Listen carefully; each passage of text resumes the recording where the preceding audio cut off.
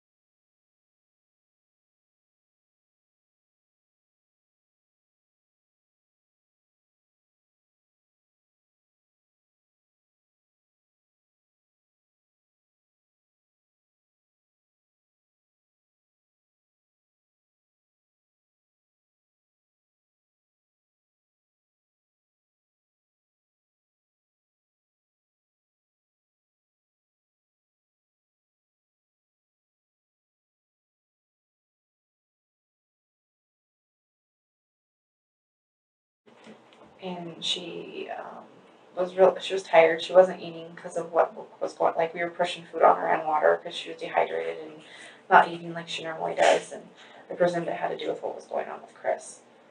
So, um, Sorry,